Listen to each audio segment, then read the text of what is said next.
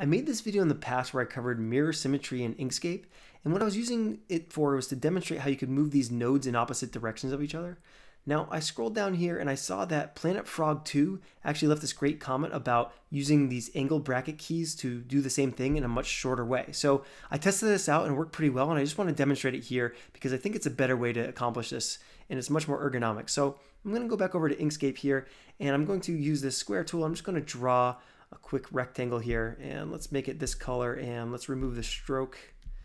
And then first we have to convert this from this square object to a path, so object to path. And that allows us to use our edit node tool to actually edit these nodes individually.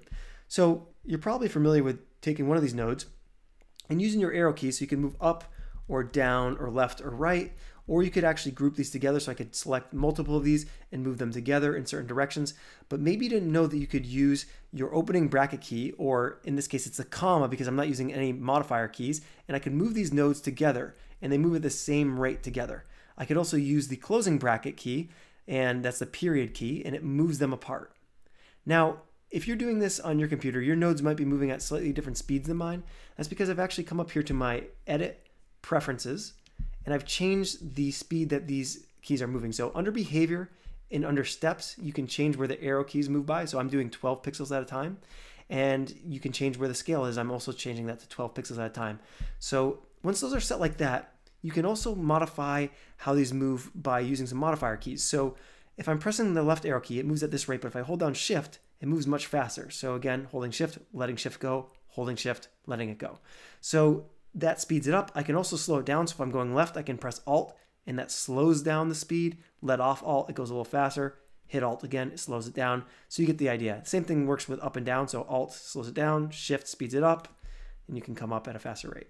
Now, this will work in general with the inward and outward movement as well. So these are both selected. And if I'm pressing the inward button, if I press Alt, it will slow it down. Or if I'm going out, this is the normal speed, press Alt, it slows it down a little bit. The one thing that doesn't work though is the shift modifier. So for instance, if I'm coming in and I press shift, it doesn't actually change the speed too much. So if I'm going out, press shift, let go, press shift, let go. I'm not really seeing any difference in the speed.